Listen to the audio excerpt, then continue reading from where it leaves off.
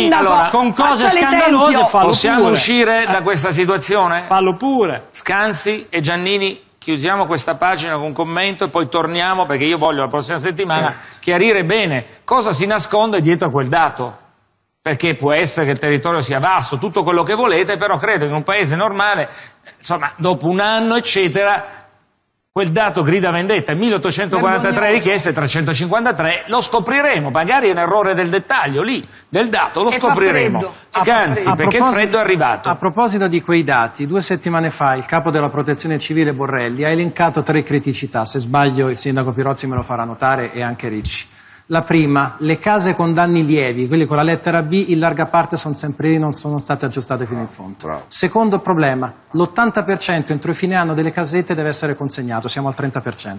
Terzo problema, l'accumulo di macerie. In tutto sono 2 milioni e 100.000 sono 400.000 e basta quelle che sono state liberate. Le altre si dice perché sono in zone private, sono comunque sempre lì. Queste sono tre criticità che ci sono, lo dico Sono, tanto al centro-sinistra vero, quanto al centro-destra. Mi permetto solo di dirle, Ricci, con grande garbo, perché so che è una situazione difficile per lei come per la di Girolamo, come per Pirozzi. Quando lei ha criticato Pirozzi dicendo che fa campagna elettorale o non si dovrebbe fare campagna elettorale, lei ha ragione, ma hanno ragione anche quelli che le dovrebbero far notare e lo hanno fatto, per esempio i comitati terremotati. Quando organizzate la Leopolda e il commissario straordinario De Micheli dice ai suoi tutto sta tornando nella normalità, va tutto bene, nessun governo è stato bravo come il nostro e il comitato terremotati vi risponde potete fare tutto ma non prendeteci per i fondelli, ecco, non prendete per il culo gli italiani, almeno questo che mi perdoni.